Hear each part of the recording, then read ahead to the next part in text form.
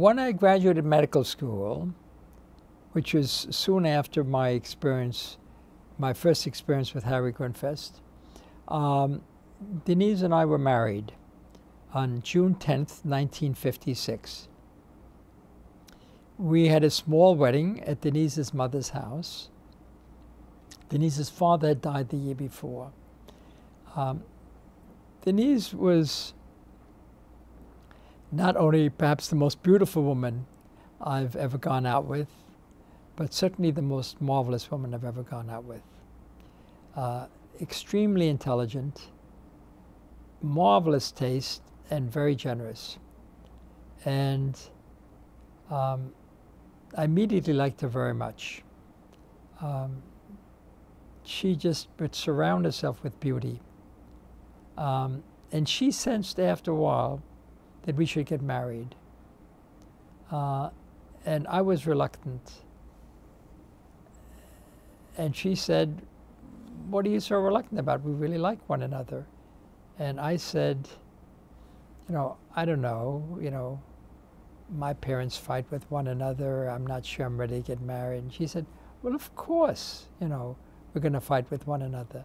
The issue is not whether people fight with one another strong minded people will have disagreements. The issue is how you resolve that. And we see we resolve those things perfectly well. So I decided, really, in a leap of faith, the wisest leap of faith I ever made, to get married. And Denise has changed my life.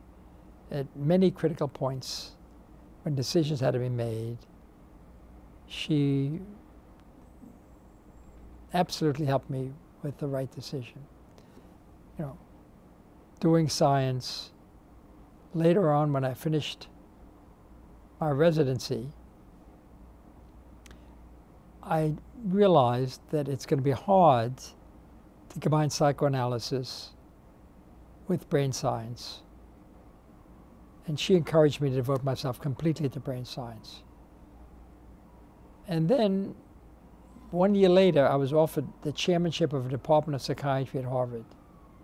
I could barely read and write, and I was being offered a chair of a department. I would have killed for that job 10 years earlier. Then he said, What? Throw your career away? It's absurd. You should continue to do science. And this is what she's urged in me all the time. And um,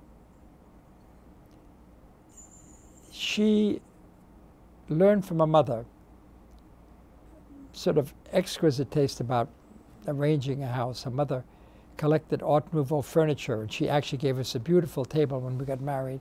And we've surrounded our house with vases, with furniture. They're just a delight to look at. And I just feel privileged to be with her. Uh, in addition, she's a fantastically creative person.